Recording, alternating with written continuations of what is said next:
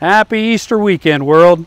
This is David Bridgman, one of the pastors here at Jerome United Methodist Church, inviting you to join us on Easter Sunday morning.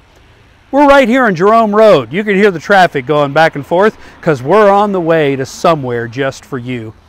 In the midst of Easter weekend and your chocolate bunnies and your Easter eggs and your jelly beans and your new clothes and your springtime, if you don't have a church or synagogue or temple home, why don't you join us on Easter Sunday morning?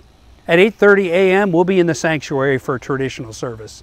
At 9:45, a family service in the gym, and then we'll end the morning at 11 o'clock with a contemporary service in the gym.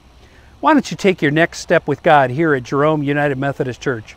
Visit us at jeromechurch.org, and I hope to see you on Easter Sunday morning.